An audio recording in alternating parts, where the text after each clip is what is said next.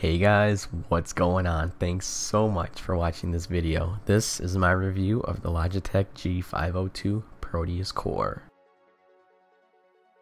Now for FPS games, if you're playing any type of FPS game, you need to check out this mouse. It's awesome. As you can see, there's grips on the side here, nice matte black finish with a rubberized texture, and that sick looking G logo. And here's uh, the other side of the mouse with more grips. Basically, you're not slipping when you use this mouse.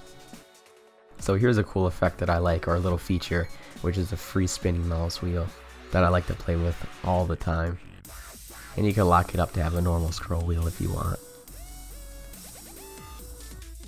So I think this is a new standard, or like the standard for all mice and keyboards now. It's the braided cable. So it's nice. It has the braided cable which adds strength and longevity. So on the bottom here, uh, Logitech is claiming that this is the best sensor on the market. So it has uh, anywhere from 200 DPI to 12,000 DPI, which is nice and fast. And their acceleration, which is like 40 Gs, makes a very, very accurate sensor. And not only that, it has interchangeable weights. As you can see here, you can really customize the weight of your mouse, which is really good for FPS. Um, it really does help your game. And I didn't know if I'd like a heavy mouse until I used this. And um, I actually like to keep all the weights in there. You can have it back heavy, front heavy, side heavy, really anything you want. But like I said, I just keep them all in there. And here's the magnetic door that just clips back on there which is pretty nice. And here's just another angle of that. Boop. I like that. So there are a lot of buttons on this, all mechanical by the way, which are nice. There are 11. 1, 2, 3, 4, 5, 6, 7, 8, 9, 10, 11.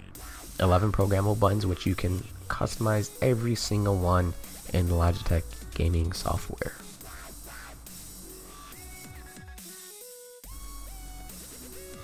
So you can see the nice, sleek, smooth edges on this mouse, accompanied by the sharp edges, which are pretty cool. It makes it look like the thing's going to transform or something. You can see it's nice and mechanical looking. And I have a small to medium hand, and this fits my hand spot on. I like it a lot.